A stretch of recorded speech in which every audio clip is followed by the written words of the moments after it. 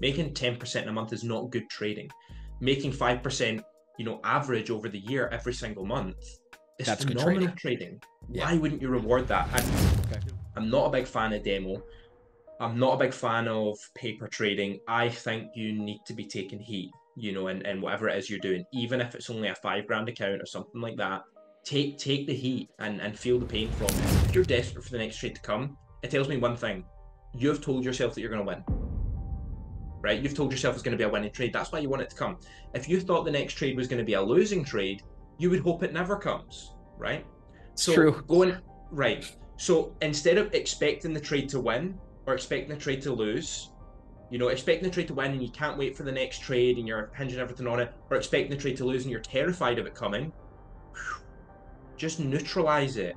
Have no expectations of the next trade. Just recognize the outcome of the next trade is not dependent upon anything. It's just random. The first-hand experience I had of it from July 2022 until January 2023, I was negative every single month. We had guys within, you know, three, four months doing five figures in payouts from prop firms. We had a number of guys who had who had come in, they'd done X, Y, and Z education, and within a matter of months they're they're taking home five figures, which you know Wow. we're relatively public about the kind of results that our members are doing. Why did Kyle block you on Twitter? Why did Jade Cap block you? What's up, traders? Welcome back to the Day Trading Show. My name is Austin Silver. I'm your host, and I really appreciate you being here. Today, I've got a special episode. This is part two, round two, with Sam Kavanagh. Sam is a incredible man. He's about to have his first child. So we talk a little bit about fatherhood, but he gives us a lot of insight into not just getting funded and how he's helping traders get funded, but specific data that you should be tracking and understanding when it comes to your own trading in order to move your career forward. We talk about how a lot of traders are spinning their wheels, doing maybe the wrong things, not the most uh, profitable things, but maybe things that make them feel productive. So if that sounds like you, maybe you're kind of at a point in your journey where you're looking for clear direction. Sam's going to give that to you today. So enjoy the episode. Make sure you're subscribed. I've got links to our sponsors, links to everything down in the description. And I just really appreciate you guys tuning in. I've got a lot of in person interviews coming up in the next few weeks. I've got two really good ones coming up next week. So we're going to hit you with Sam, and I've got some more coming for you. So stay subscribed, stay tuned, and enjoy today's podcast.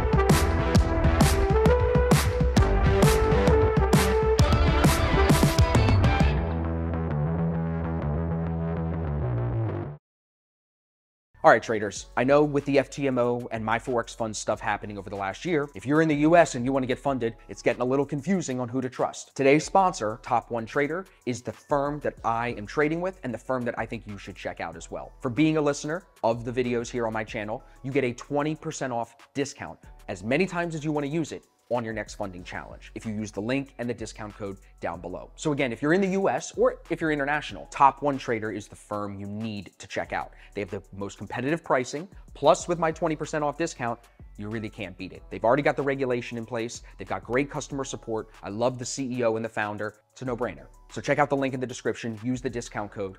Now let's get back to the video. Traders, we are back with another episode, round 2 with my brother from another mother, Mr. Sam Kavanagh. What's up, Sam? Good to be here. Glad to be back.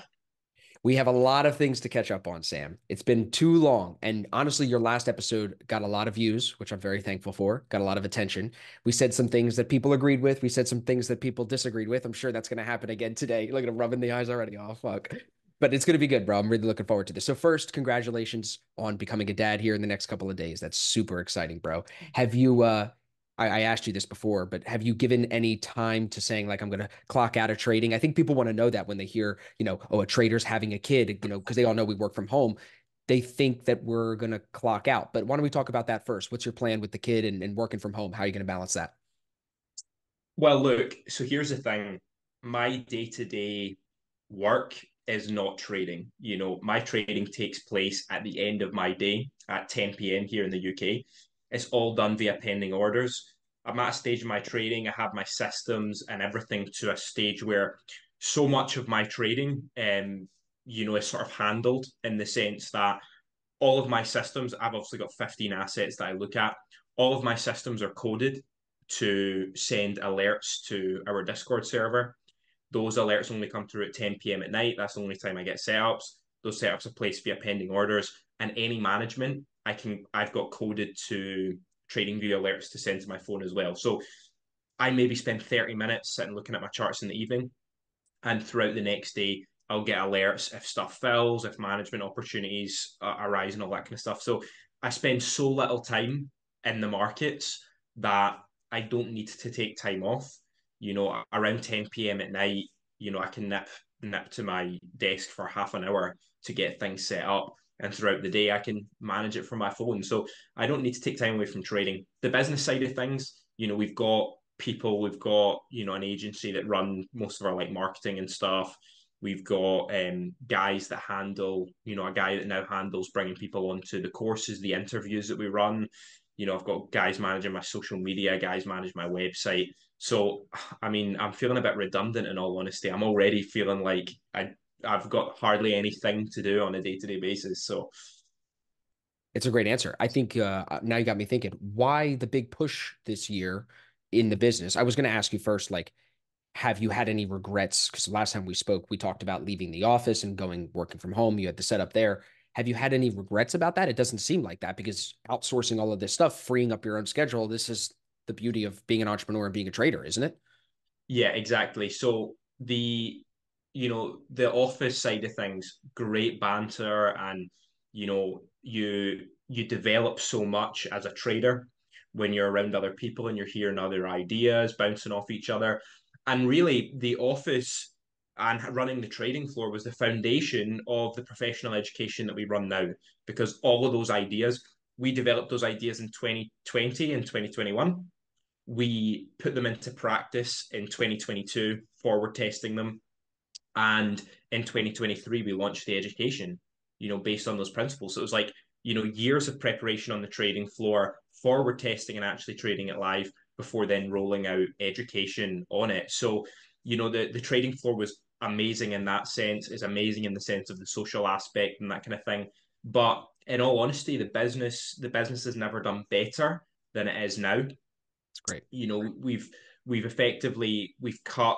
I mean, our expenses now we we're not paying our our biggest office. We were paying five grand a month for so. And staff and all that kind of stuff, associated costs, computer kit, whatever. That was running an office was super expensive. Now that we're away from the trading floor and everything's done remotely, costs are less. More money can be allocated to areas that it needs to be, and I'm more focused on the business rather than being in the business. I can now work on the business, and that's been, you mm-hmm. know, it's been it's really changed a lot. I think that's definitely something I have to work on going into this year. My wife gets on me all the time. She's like, I know you got into this business because you love trading and helping people, but like at some point you got to get your schedule back because between the mm. coaching, my own trading, doing the podcast, managing our employees, it does take a lot away from my time. Like it's like my whole day. It's like a job. I think this is funny. We're talking about this. Tom Dante tweeted yesterday. Too many people are glor- glorifying trading. It's just another job, you know. So I think you're doing it the right way by trying to be working more on the business, not in the business. That's a very key like entrepreneur buzzword saying, right? Every entrepreneur starts in the business and then you want to eventually be working on it. Do you have any advice for people like me that are trying to get better at working on the business rather than in the business? Yeah, I mean, so I've tried this. I've tried this over the years to try and get people who can work in the business, and so I can work on the business. Biggest mistake I made was hiring people because I liked them, because they were mates with me, because they were good traders. Those types of people, those aren't the types of people that you want to be like managing customer service, managing your marketing, all that kind of stuff, because they're not specifically qualified in that area. It's just nepotism. You're just giving them the job because you love them, right?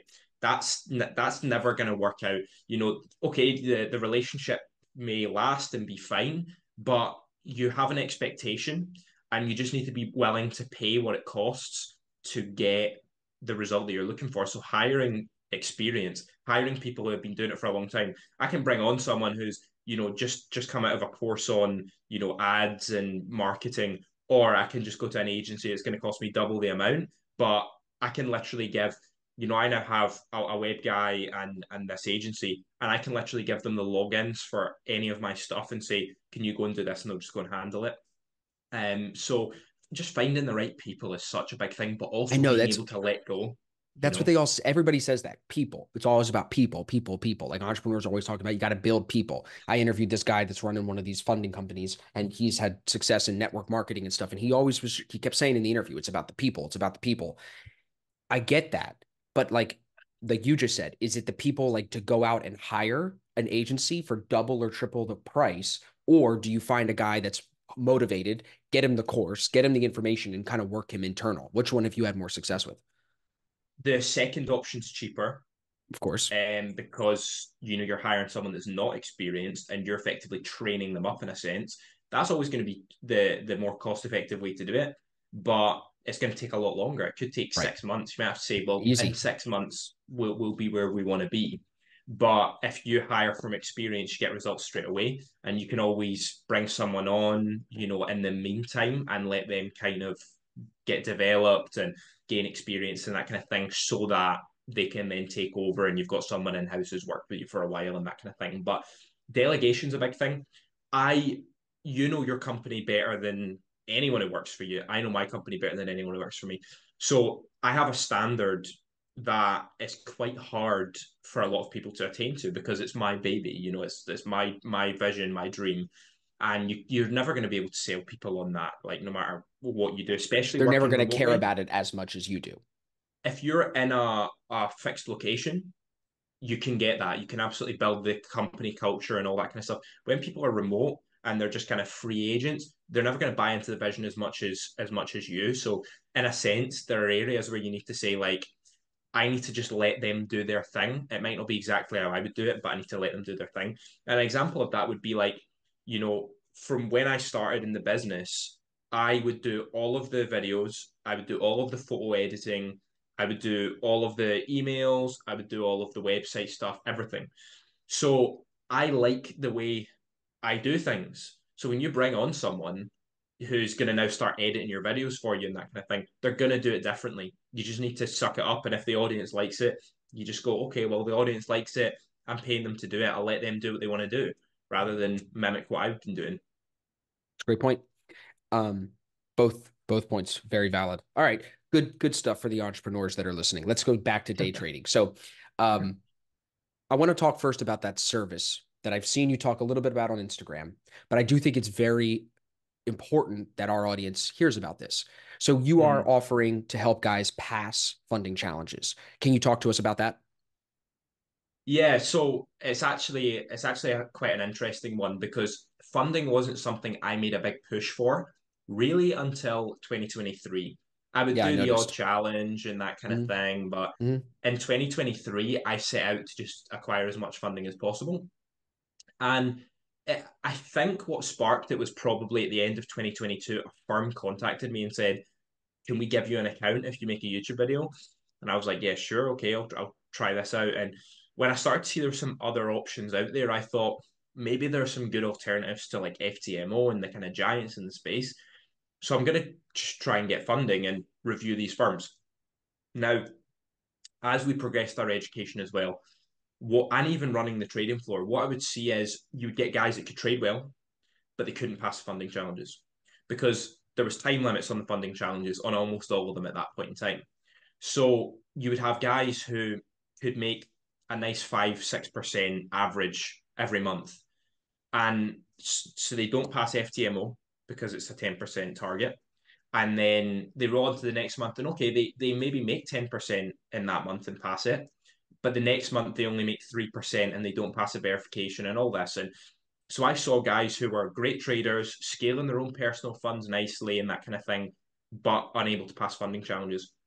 And I don't know if you remember when I was at the Finance Magnates London Summit, when they invited me to go and speak on that panel alongside FTMO and that kind of thing. The biggest gripe I had, and I made it very, very clear, was the time limits. I was saying there's the CEO of all these prop firms sitting next to me. And I'm saying to them in front of this audience, you can't tell traders that you want them to trade well and that your desire is to fund the best traders and all that, but not reward good trading. Just reward, you know, um, uh, you can make this X amount of percent in a month. Making 10% in a month is not good trading. Making 5%, you know, average over the year every single month is That's phenomenal trading. Yeah. Why wouldn't you reward that? And you know, interestingly, about four months after that, um, they all started dropping the time limit. I'm not saying I'm directly involved, but anyway, and um, so that was always my kind of gripe. And then when I saw that there were some great alternative firms that would allow someone like KB to come in and trade on behalf of one of their students and pass a challenge, I'm like, okay, well, maybe we can do this. If the firm's good and they pay out, okay, maybe it's not FTMO. If they're good and they pay out, we can actually pass funding challenges for guys who we know can trade. So I started this out by, you know, I had a contact in Canada who was willing to handle all that for me. Um, and he said, look, you know, I, am willing to run this this service for you and help you out with this. And so, you know, between one thing and another, we got to the stage where we can actually now start passing people's accounts for them, get them done pretty quickly. And we can offer things like, you know, if we fail for whatever reason, we'll give you a full refund, we'll buy you another account and that kind of thing. And so I just started soft launching it to my community. And it was via an application process we don't want like total beginners coming through who are just going to blow the account once they get it. And I decided toward the end of last year, maybe start offering it to my broader audience every so often. But again, you know, if my any of my broader audience want in on that, they have to jump on an interview call with me. I have to speak to them for 15 minutes. Well, it won't be me now going forward. It's you know, it's a one of our team, Lewis, is going to be handling those, but we have to assess that they're they're not just like you know a beginner and all that kind of stuff. And do you have stats that you could share on like the success rate of you guys doing this for other people? We've never had anyone walk away without a, a past funding account. Okay That's there's been a couple of times where we didn't there's been a couple of times where we haven't passed first time. Okay. But and then know, what happens? Do you do they have to pay again or do you do it for them they they then get it for free so if, if for whatever reason we didn't pass the fee that they would pay us, we give them back, and then we buy them an account, you know, out of our own money and pass it. So if if we fail, it we end up, you know, losing money on that, but it keeps the customer happy and they come back to us. So last year, between our community and a handful of people outside of our community, we done about thirty million dollars in funding. Wow. Wow. For for you know those who came through that service, so it's, it's been really good. That's amazing. And I think that it'll be good for some of the, like you said, like a broader audience to hear about this, because I think that um, there are a lot of good traders out there, like you said, that put themselves in a challenge. Not not only you know they got rid of the time frame thing, but it it does create a lot of stress for people sometimes that are. It does because I think about it like I have guys in the coaching program that are new traders, like year one to three, right? Like they're still mm-hmm. in the beginning phase of this they're good traders, but because they're in a challenge, they feel this pressure, this eh, this anxiety. That's right. unneeded. You know what I mean? Yeah, yeah, absolutely. And you know, for a lot of a lot of good traders, guys who have nailed the concept, guys who are trading consistently, a lot of them are trading on small capital or they're trading on demo. Now, the transition from you know demo to now something that you've put a thousand pounds into or from a you know thousand pound account to now something where you could literally lose a thousand pounds in a matter of a couple of bad trades. What it does is it, it puts the pressure on and they have a million one things to think about as it is in their trading. It's just an unnecessary pressure. This is why the traditional prop firm route which is what we tried to do through the trading floor was if you can show a consistent track record of you know six to 12 months we'll give you money uh, and however, that's not a very profitable business model in terms of the funding pass challenge um, process, which is obviously extremely profitable. Yeah. When uh, let's transition another another second here because we're talking about prop firms. Why did Kyle block you on Twitter? Why did Jade Cap block you? What did you what every time we do a podcast, Sam, I gotta ask you about it. First it was Madison, then you guys squared up. Then I, I don't get why he wouldn't show them IFX book because we all know he's invested a ton of money into this stuff, but he's made right. more. It's probably I'm gonna I'm gonna see him and I'm gonna have to ask him the same reason. Like, why did you block Sam? But I like what to me, it's like, okay, but your stats are bad, Kyle. Just say it doesn't matter. I just wanted to get paid out. Like that's all he'd have to say. You know what I mean? Yeah, so I actually don't know what happened there. The funny thing about um, the situation with myself and Mads is I think she actually she did definitely unblock me because I see her tweets come up and sometimes she replies to my stuff and we have a bit of a bit of back and forth. She she she loves me really. Um and but with with the Jade Cap thing, to be fair, I didn't really I wasn't really super familiar with who he was. Okay. I don't really follow a lot of people on Twitter or anything like that. I don't follow a lot of people on YouTube. I don't follow traders as it is.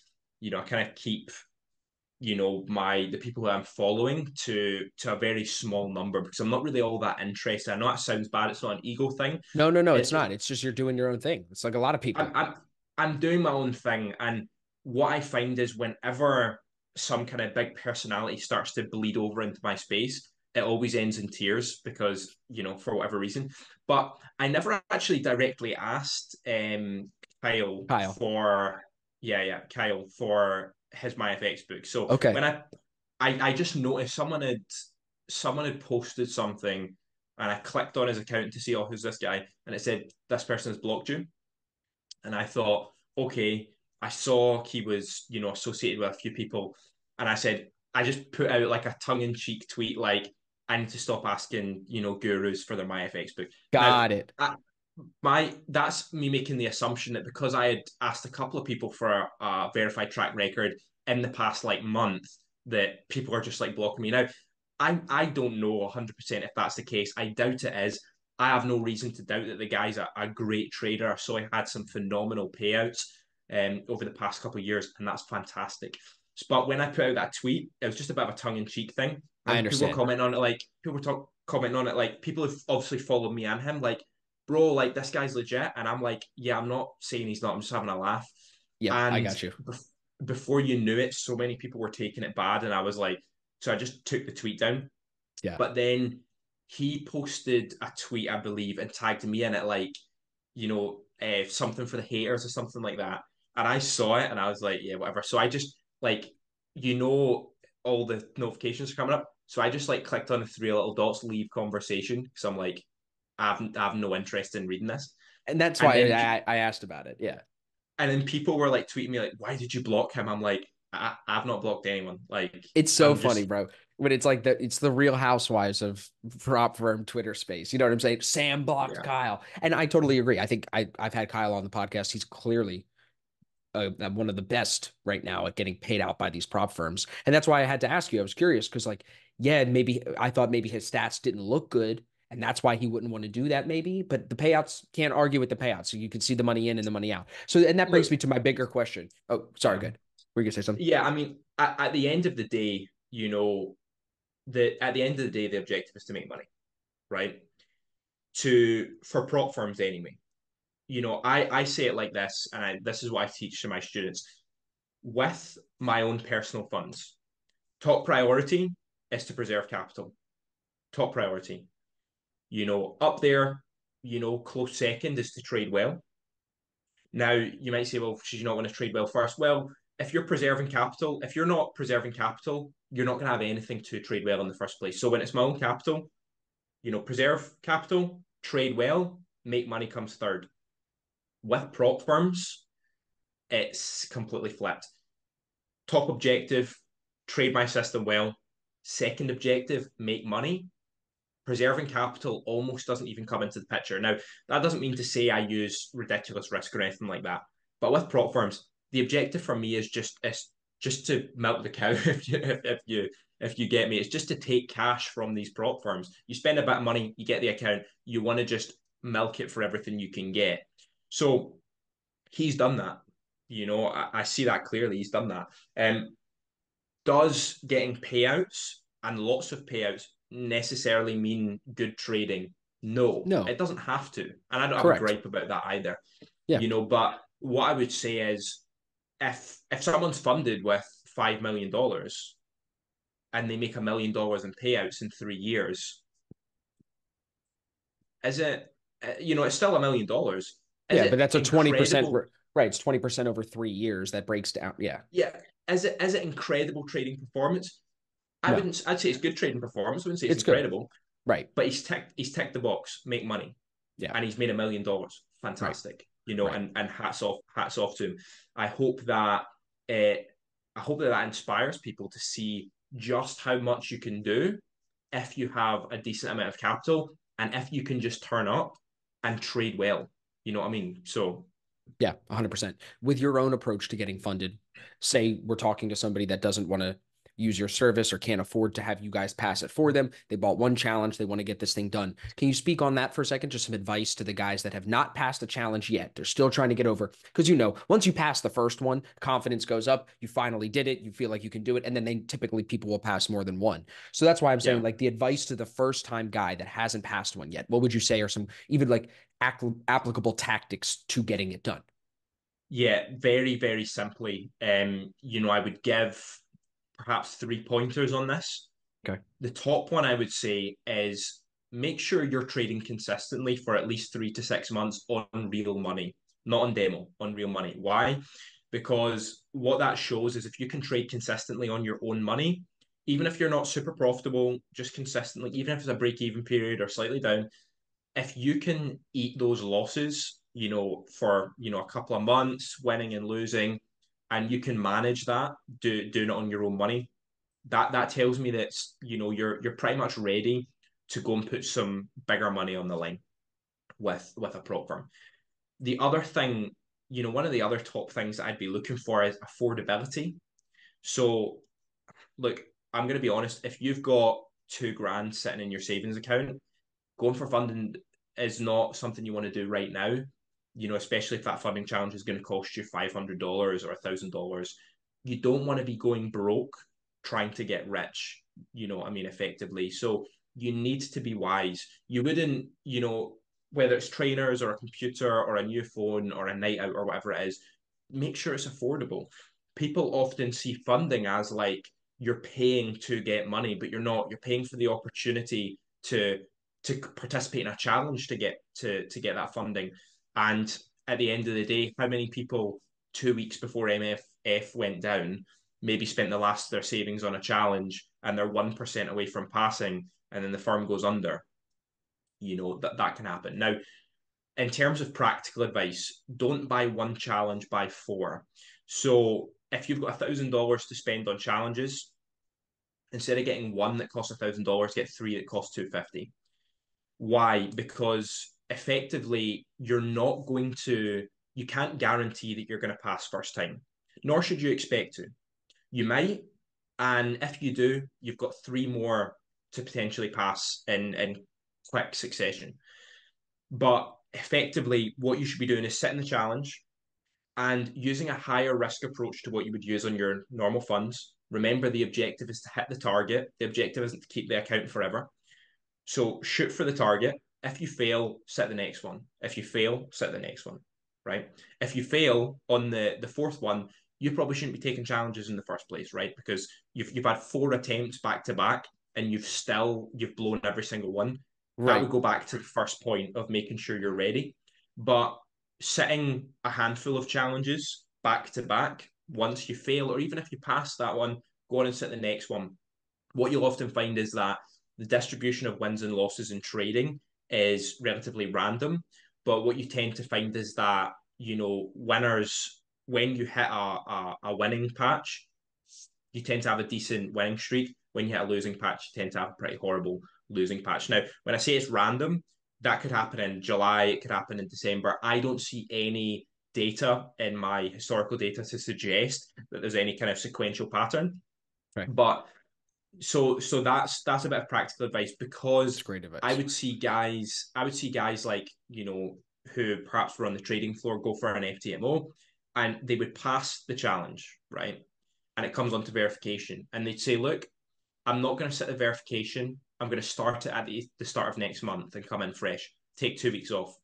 And then they fail the verification. If they just sat it straight back to back they would have passed. Or likewise they have a you know they blow the account and they say, I'm going to start fresh next month. If they had just started on the day that they lost the account, they would have actually passed the next one. So I'm a big believer in set aside over this next couple of months, I'm going to be going for funding. I'm going to get four accounts and I'm going to set them back to back. That's what I would say. Great advice. How do you feel about trade copiers? Do you feel like someone maybe let's go to some advice on a guy that has already passed his first challenge and now he maybe failed, got some payouts and lost the challenge, whatever, lost the account maybe he wants to scale his business now. He's like, I've done this once. I don't want to have to do this 10 times. Should I use a trade copier now? Take one challenge as the master account, 100K, whatever, and then copy it to a couple of 250s and a couple of other hundreds, put it across a bunch of companies. That way I'm diversified. Do you think that's a smart idea? Or do you think get that one account, milk it, milk it, milk it, fail, lose it, and then get to the next account? The sponsor of today's video is me. ASFX TV. With ASFX TV, if you don't know what it is, you can trade live with me and our team of funded full-time traders all week long. We offer live sessions in the New York session and live sessions in the London session. All of the videos are recorded and stored on our platform so you can rewatch them in case you can't be there live. But if you can be there live, we have a new live chat feature which allows you to send in questions, ask me what I'm thinking, give me a markup so I can give you feedback, and basically anything in between. So again, if you're looking to get funded, if you're looking to take your trading to the next level, you've got to take in new information. The best way to do that is through ASFX TV. We have four funded full-time traders holding your hand through the live market every day. So click the link down below, check out the free trial, and I'll see you on the next stream. So I'm, I'm a big believer in scaling funding. I would be relatively agnostic on that idea that you've just put forth there with regards to, you know, setting a handful on a trade copier at once if you can afford it, why not? You know, if you've got 10 grand sitting there and you want to, you know, you want to go and get funded, then do exactly what I said, but just, you know, set three at a time, for example, with different firms on a trade copier. Those three fail, connect the next three, set them. Those three fail, connect the next three, set them. Now, yeah, as I say, I'm relatively agnostic about that. I've not thought into it super, you know, a super amount. I certainly do that. You know, I, yeah. I know problem with setting a handful of challenges at the same time. I think it's like you said, can you afford it? One of the guys that I'm coaching right now, he can afford it. One of the guys I'm coaching right now, he can't afford it. So it's going to be a slightly different approach. I agree with that 100%. Do you, since you mentioned data, I have some questions about like what you've seen in your traders, in your own trading, even in 2023. Do you feel that there is a certain day of the week that traders should avoid? You always hear the cliche, don't trade Mondays and Fridays. What are your thoughts on this? Does the data back it up? You know, I saw a trader on Twitter who I'm not going to name, um, but he said, you know, I've been looking back over my account, and what I've noticed is that I lose money on Wednesdays. Great. Um, he says, so what I'm going to do is I'm going to look at my other accounts and see if I also lose money on Wednesdays on them, and I'm going to remove Wednesdays from my trading. Okay, you say that to your your average trader, they're going to go, "What? That is the most enlightening thing I've ever heard. And people in the comments are like, "Yeah, hats off to you, man. That's so that's so smart. I'm gonna go and check if you know I lose money on Wednesdays." Right? Okay. Why? You know, you're doing that off of off of basically a very small sample size, even if it's a year. And what you're not doing is you're not eliminating variables. You're taking your own performance as if it's gospel truth about how your strategy performs. What you need to do is you need to go and look at a historical data set of your strategy and see if your strategy makes money on Wednesdays. And guess what?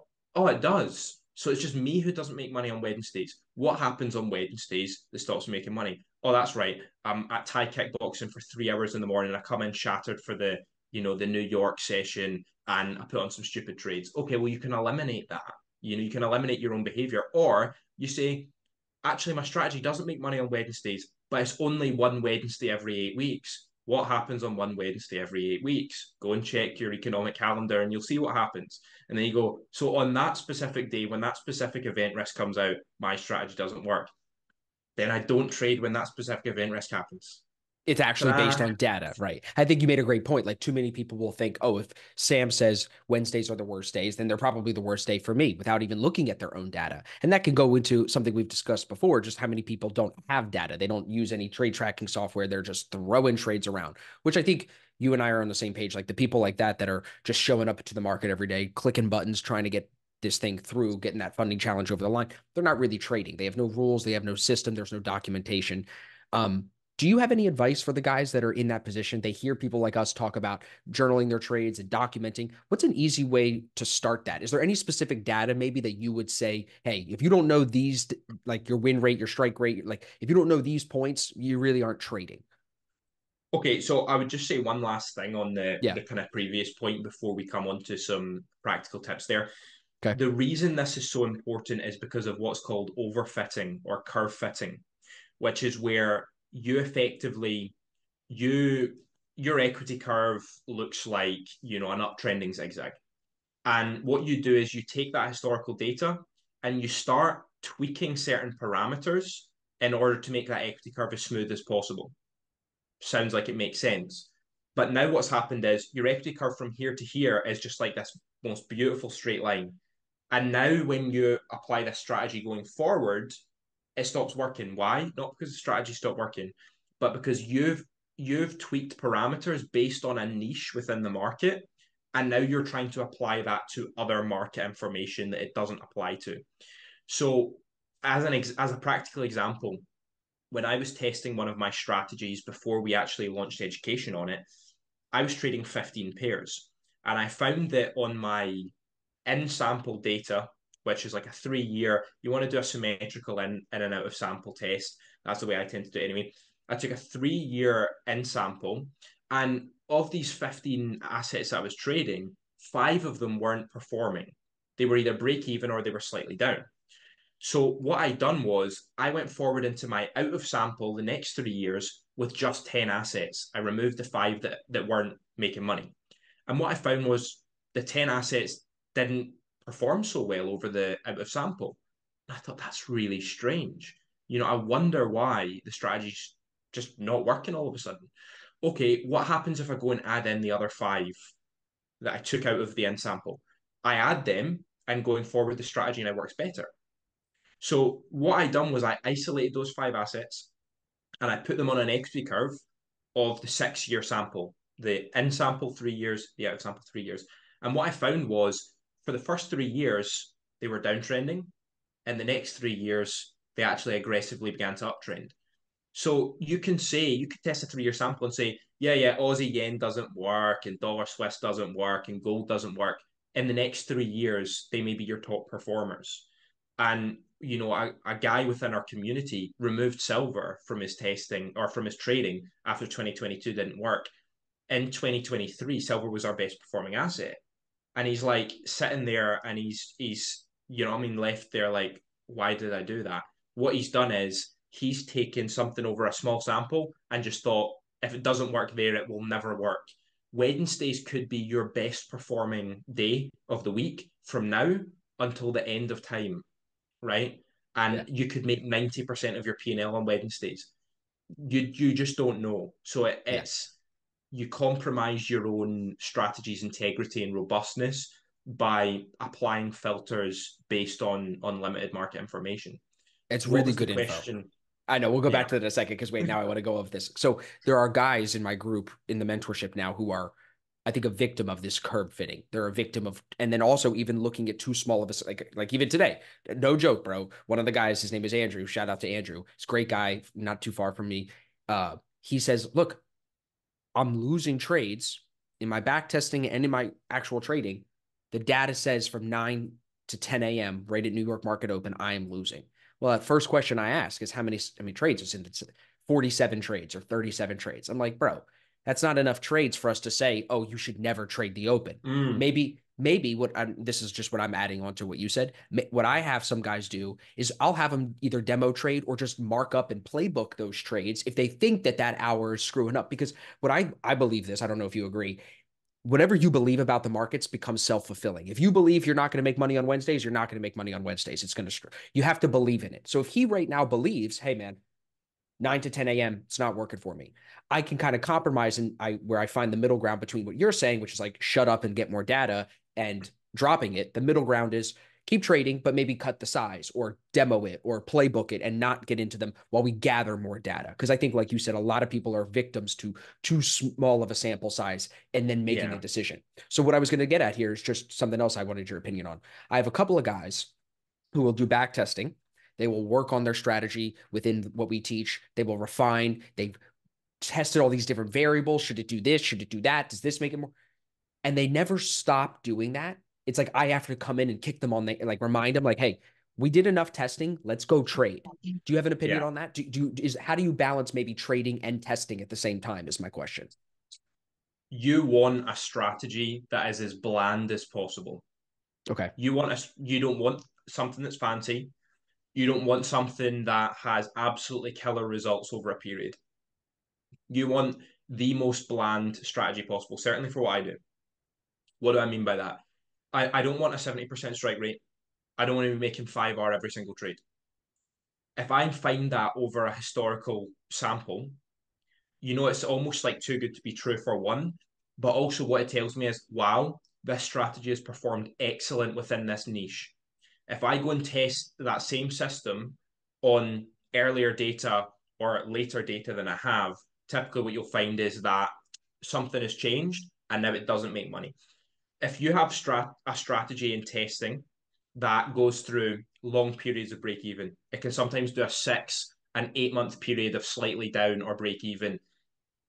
A lot of people look at that and go, "The strategy is not not tradable." That to me is a green light because it tells me it tells me that the strategy is not super overfitted for a specific data sample. I can look at my, you know, a six year sample and the strategy makes 150R, let's say.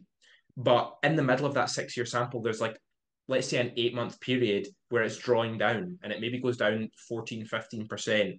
I'm perfectly happy with that. I know if I start trying to fit that curve a little bit more, sooner or later something's going to break. You pull something the on the wrong side, right? Mm. Strategy is no longer robust a strategy with you know a 40 to a 50% strike rate bingo a strategy that's making average you know win loss relation between your average loss and average profit of two to two and a half. This is what i call like a bland strategy. It's like it it makes money. It's not you know a superstar strategy but it makes money. And it's just that workhorse. It's just that thing that's just going to consistently just keep on doing its thing. The the higher performing the metrics are when you start seeing profit factors of three and four and five and all that kind of stuff i'm like that is literally a small market shift away from that strategy stopping working forever. My strategies tend to have a profit factor anywhere between 1.2 and 1.8 and that's really what i found to be the sweet spot. I am perfectly happy with something that can make me 30 to 50% a year. When you say that win rate is that the win rate in the back testing or is that the win rate that you are looking at from the own, your own clicks of the button. When you say i'm looking for the 50% win rate is, is that 50% in the back testing and then you're going to use discretion and probably be at 60 or 65 or you really shooting for 50 no so my strike rate in testing is probably about 44 45 so lower. my strike my strike rate in live is is right around the same. So i would say 45 to you know 40 to 50 percent is like you know a strike rate that in testing I'm like that's looking pretty sweet. Okay. Um, my testing uh, KPIs and my live KPIs tend to line up, you know, sure. pretty well. Okay, that's what I'm asking. Okay, let's go to the uh, the question about balancing testing. So I'm trading. I need to pass funding challenges, but I also want to back test and refine the strategy. Yeah. What would you get? And the answer can't be find more time in the day because everybody you're about to experience it. You got kids, you got other shit, you got life how do you is there a point where you put the testing aside and you say all right I, I got enough let me go trade for two months and see what i actually do you know what i mean mm-hmm. yeah once you once you've got something that's producing positive results and you've i i'm not a fan of strategy refinement adding filters and all that kind of stuff because what it does is it makes a strategy less and less and less robust you're adding filters on top of filters on top of filters. You say, okay, well, I'm going to put in an EMA here. And if the market's above the EMA, I'll trade. And I'm also going to make that EMA. So EMA is here. I'm also going to make that EMA a 50 period EMA. And guess what? Now it has to happen between these hours of the day. And guess what? It has to happen on this day of the week. And guess what? It has to, and all of a sudden, you've got like, you know what I mean? You've 18 parameters and you're never trading. Yeah, but you're precariously, you may get plenty of trades, right? You may, but you're precariously balancing the strategy success on top of all of these filters. And it's like sooner or later something shifts in the market and none of these one of it these filters yeah. one of these filters is letting you down and you don't know which one it is because you've got 18 of them stacked on top of each other. It's a good point. So i would apply as as few filters as you can possibly apply and get the strategy working. Um you know so the process i would always say come up with an idea. It has to have a statistical framework, i.e., you know, when price does this, there is a 58% probability of it going this this um, range, you know, one times the range of this pattern, as an example. Okay, so I know there's a 58% chance of it doing one times its own range. If I was just to execute that at market price with a stop loss below the range of whatever that pattern is, shooting for one times the range, I instantly have an edge. How can I now go onto a lower time frame, for example, and see how I can get tighter stops in here? See how I can get more precise entries. So okay, maybe I don't catch every single one, but all of a sudden, you know, my RR is actually increasing. I'm now actually Without adding filters than, than one right? to one. That's what you're saying. Without adding filters, you're just refining what's in front of you already.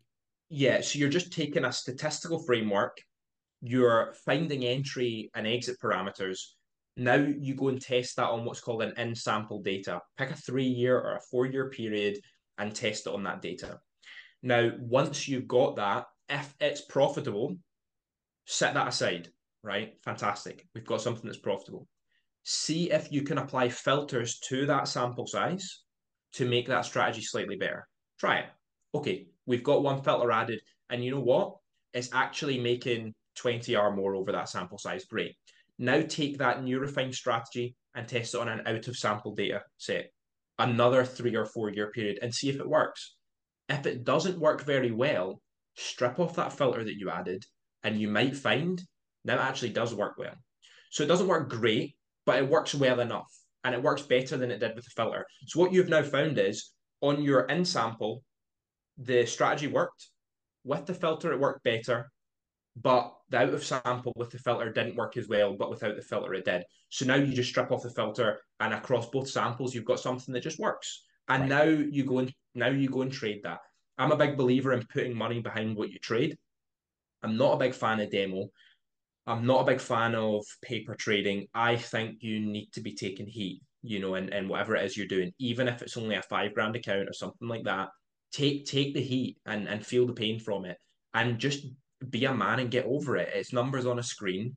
It's, you know, we sit and look at, at little pictures of candles, like, and we make money from it. Like, don't take it to the point where you're like, you know, you're pulling your hair out and all that. It is what it is, right? Be just okay, it's not working strip it back, work forward. So That's many people, advice. so many people get so uptight, they get so consumed. You know, the thing people forget is it's a screen. You know, it's just a screen. People get so absorbed into it to the point where it's like their entire life is is hinging upon the the outcome of the next trade. Mm. Just take a step back and take a breath, man. People people get too uptight about things. They do. I totally agree, and that was very well said. What's your best advice for people that struggle to handle losses in trading? Grow up. Tell me more. Look, you've you've this is the problem with trading, right? If you're going for a job and you're gonna be, you know, we we you live in a city, I live in a city. We drive down down the road and there's drainage at the side of the road, there's power lines, there's all these things guys are actually having to go down in those sewers and clean them out, right? Guys are actually going having to to pick up your rubbish and take it to a landfill and all that kind of stuff. Guys have to do that. And when they go for that job, right? And they they fill in the job application, they know what they're getting themselves in for. They know I'm going to be spending the next 20 years in the drains under the ground, you know, unclogging drains. They know what they're getting in for. When you get into trading, that's the problem. You don't have to fill in a job application say, I, you know, I'm perfectly happy taking losses. I know that my job's going to involve this. Like it or not, the best traders out there, you know, the majority of of solid traders don't have above a 60% win rate. Right. The majority of solid traders have somewhere around that 50%. So you have to recognize you're going to lose money. Yeah, it's going to happen. You're going to take losses. You're going to lose funded accounts. Right suck it up. You got you got in for this, right? If you can't handle the heat, get out of the kitchen. You know, and I don't mean to be dispassionate or to be, you know, um, removed, but sometimes people just need that. And it's all good and well me saying to like the audience or viewers, oh, you know, I'm so sorry to hear you had that loss. And, you know, it's not a family member, it's a trade. Like you're gonna have another one. But as as a matter of practical advice, I guess, yeah. The reason you're impatient in the markets and the reason you're upset about losses is because of your expectations. If if I said to you, let me think about about how I can how I can frame this. If you're anxiously waiting for the next trade and you're desperate to trade, this applies to people who are over trading and stuff as well. If you're desperate for the next trade to come, it tells me one thing: you've told yourself that you're going to win. Right? You've told yourself it's going to be a winning trade. That's why you want it to come. If you thought the next trade was going to be a losing trade, you would hope it never comes. Right? So True. going right. So instead of expecting the trade to win or expecting the trade to lose, you know, expecting the trade to win and you can't wait for the next trade and you're hinging everything on it, or expecting the trade to lose and you're terrified of it coming, just neutralize it. Have no expectations of the next trade. Just recognize the outcome of the next trade is not dependent upon anything. It's just random. The outcome of the next trade, the next sequence trade, is totally random. You have an edge that works not every time. You have an edge that works over time, as Mark Douglas says. You have an edge that hasn't promised you to make you money on the next 10 trades. It's promised to make you money over the next 100 or 1,000 trades. So just have neutral expectations. The next trade will come whenever it comes, and whatever the outcome will be, the outcome will be. So going into a trade, recognize that you're going to pay, you're either going to pay, let's say your risk is $1,000, you're either going to pay $1,000 to get 2000 back, or you're going to pay $1,000 to learn something. What can you learn from that loss? What can you learn from, you know, about your strategy? Most of the time, it's just experience. You're just learning how to handle the ups and downs of your strategy. So if you had to take a thousand dollars out of your wallet every time you got into a trade and put it put it on the desk, you know, people would think about trading a lot differently. Because it's numbers on a screen, they're so happy to rush into just risking a thousand dollars there and then they lose it and and it's really psychologically traumatic for them. Yeah. Eh, understand the risk that you're taking and understand that the outcome of the next trade isn't promised. Have a totally neutral outlook to it. And then when you lose, you'll say, well, I knew there was a 50% chance of that happening. If it wins, you'll go, I knew there was a 50% chance of that happening. And a lot of the time in this in this sort of age that we're living in, where winning is really glorified in the markets, that's a root problem as well. Because winning is held in such high esteem, it means that when losing happens, it's like, you know, it, it's like dis- dis- you're distraught over it effectively if when you win, don't don't congratulate yourself. Don't be jumping up and down thinking what a legend I am. You just done your job. You click the buttons and the markets went in your favor. You know, but we we we psych ourselves up. We get quite prideful. Ourselves, yeah, look at that three hour trade I had. You just done your job and you got paid to do it. You know, no one's like driving home from the office on you know the day that they get paid. Like come into their wife like, guess what happened today? I got paid my wages. It's like, right. yep, okay. I mean, that's that's why you work. So when you win, don't make a big deal about it. It's just you just got paid for for placing that trade for following your system. And so when you lose, don't beat yourself up about it. It's not your fault that you lost unless you done something stupid, went against your rules or whatever. But if you're following your system and you lose, as long as you followed your process, you know, equally you've you've done your job, so you can chill out about it. But you know, um, aversion to losing is a big problem, a big big problem. People really really struggle in that area, yeah. and a first-hand experience I had of it from July 2022 until January 2023. I was negative every single month, and subsequently so were you know people following my systems and strategy, and people were getting disheartened and all that kind of thing. And I think it was, in some senses, it was reassuring to them that it was water off a duck's back for me. But other people who maybe didn't get it as much were perhaps quite quite bitter about that. They're like, you know, we've we've been in drawdown for six months and it seems like this guy doesn't even care. But then we go on to have a killer year in 2023. So it's just it's par for the course. You sign the job application when you get into this industry, you're going to lose money deal with it. That was a really good, very well said answer to the question. I got two more questions for you. Number one, Fantastic. well, I'll ask, I'll ask it in this order. Number one, what do you think is the amount of time that it takes to learn how to trade? What's the learning curve for somebody that's just coming into the business, even with mentorship? Hmm. Okay, this is a difficult question to ask to answer rather, and I'll tell you why. Because KB is very detached from beginners, um, not necessarily by design. When we first got into providing education, we we mentored a lot of beginners. It's not something I've done in a long time, so very difficult for me to say. What I can say is, for struggling traders out there, if you're struggling, you are months, you're a matter of months away from being profitable. You know, with the right education and mentorship.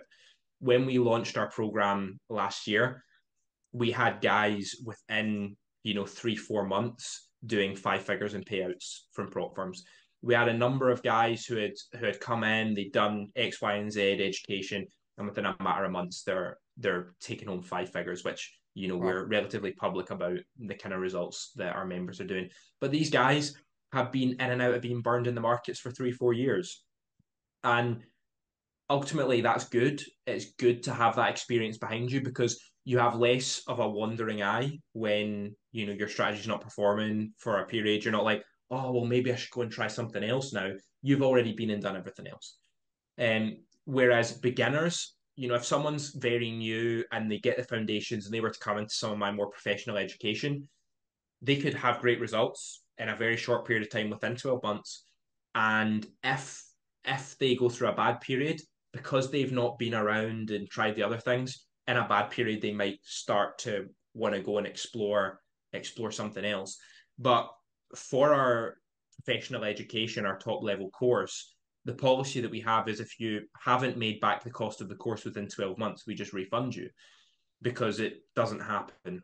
It doesn't so you, you feel like within months. a year, somebody can really make a big step forward. If they've got the foundations locked down within 12 months, they're going to make, you know, well, our, our top level education is 4K, right? So I know within 12, and I put my money where my mouth is on on that statement. I know within 12 months because if they don't, they get a full refund. so we're we're confident in our our approach, but we just know that it works.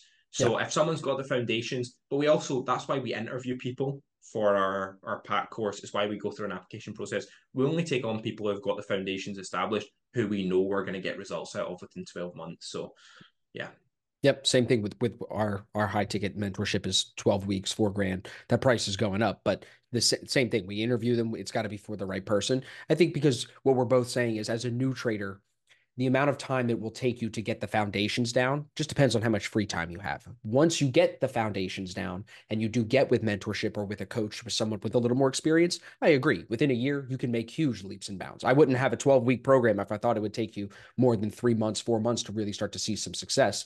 And like, I think that you guys as well do it do it really professionally like you said not just selling the beginner the dream of like hey man first month you're going to make 10 grand and you're going to love this business. That would be great if everybody if that happened to everybody but that just is not the case. Yeah yeah. All right no last question. there'd be no money left. What are you looking forward to most about being a dad? Oh man i'm so i'm so excited. Like i'm i am unbelievably excited. I was like i was driving along in my car today um, you know, I was coming back from getting my get my hair cut, and I was just thinking about like just holding her and just like sitting her on my knee and all that kind of stuff, and you know, all the I I, I don't know, man. It's just I'm lost for words when I think about it. I'm so I'm just so excited to have to have my kid around, and the way I described it to to my wife Neve was, you know, when you were a kid and you'd get like a new toy for Christmas, right? And or for your birthday or whatever, and you go to bed and you wake up in the morning and you're kind of lying there, and then you remember that you've got a toy, and you're like, you know, you want to run and go and play with it, you know, it's a new bike or whatever. You're That's like, exactly oh. how it is, bro. That's exactly. So me and my wife will be sitting there sometimes and we'll be like, "Should we go wake him up? Like I'm bored. I want to hang out with him." I know. So, and that's what I was thinking about. It's like, you know, times where I'll be sitting at my desk or whatever, working and all that, and I'll be like, you know, I've, I've maybe got a bit of free time, and I'm like, oh, I have a baby. You know, I'm just gonna go go and run and like hang out with her. But it's the, the things I'm looking forward to. I want to see what she looks like. You know, she's been terrorizing my wife for the past nine months. So, I, you know, obviously we need to start off with me having a taking her aside, having a word with her, give her into trouble. You know, um, but no, listen. There's there's so much to look forward to, and whenever you post, you know, pictures of your little one and that kind of thing on Twitter, I'm always showing Neve like that one of him like crawling to grab the yeah, yeah, I'm just a couple months ahead of you, bro. So I, I know exactly what you're saying, 100. percent I because I was the same way. I had a buddy that had a kid a couple of months ahead of me, and I was like, look, his kid's moving. Tom, one of the guys I work with, same thing. Like I met his kid after he was just born, so it's amazing. I'm curious to know as as time goes on, bro. Like next time we sit down and do a podcast, I'm going to ask you first. Did you feel the motivation that everybody talks about when they first, you know, some people say, like, I see the kid for the first time and now I got this new motivation. I'm going to make $10 million a week. I didn't have that. So I'm curious to know if it happens for you. I think it probably won't, is going to be my guess. Just because you're such a motivated and disciplined guy now, it's like, what is a kid going to do? This is just the next step in you building your your story, your journey, mm-hmm. your your family, you know? there there is an element of that, you know, definitely already where I'm like, I I want to be, you know, it's not enough to just make six figures in a month. I want to be doing that every single month. You know what I mean? Of course. Um, and I want, you know, to I just want to want my kids to have have as as much as I can give them. Really, I want to thank you guys for watching this far into the video. If you are not a member of ASFX, if you're living under a rock or maybe on Mars, I'm offering you 25% off our starter pack and access to our Discord chat with the link flying in above my head. Use the card to save 25% on the starter pack. You're going to learn four back tested strategies. And like I said, you're going to get access to join us, trade with us in our Discord chat. Now let's get back to the video. that that's going to be for their benefit. You know, I'm not saying I'm going to spoil them or whatever, but I want my kids to have plenty of experiences. I want them to have plenty of time with mum and dad. And, you know, a big part of that is, you know, I'm, I'm 24, right? So I'm, I'm still relatively young. But a big part of that is saying, you know what, actually, you're not young now, you have a kid. So it's, it's easy to just, people can be 25, 26, 27, 28 and still be young because Right. you've not got any responsibilities or No you become a man you become a man when you take a wife and and you've got a kid. So it's there's some definitely some maturing to be done there.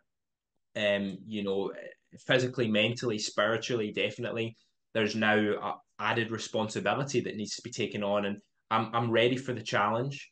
You know, um, and, and so I mean, I'm I'm just really looking forward to it. I, I just really awesome, bro. You got family near you too, right? Grandparents are going to be nearby. They they will be. I mean, maybe like a thirty minute drive, something That's like that. It's, it's it's not far away. No, my Not- mom's not two hours far. away. She, she, I have to FaceTime my mom with my son all the time because she wants to see him so bad every day. So Yeah. yeah, uh, take advantage of that too while having everybody close. But listen, bro, wishing you and the family the best of luck with the delivery, with the baby. Wishing you the best of luck this year with the trading. And uh, I can't thank you enough, bro. Every time we chat, I hope that I do a good job at asking you some interesting questions because you you have a lot of value to share. Even though you're young, still has a lot of experience, a lot of value, a lot of wisdom to share. And I know the audience really appreciates it, bro. So what I'll do, I'll put your uh I guess we'll send them to Twitter. Is that the best spot? You're not the most Or active on Instagram, Instagram. whatever. Twitter, Yeah. Instagram. I'll put those both down in the description. We'll make sure everybody can connect with you. But for now, we'll put a pin in it. I'm sure we'll do another one of these in a little bit. So can't thank you enough, Sam. For our listeners, we're going to sign off here. Make sure you guys are subscribed. We'll see you guys next week in the next episode. And Sam, thank you again, brother. No problem.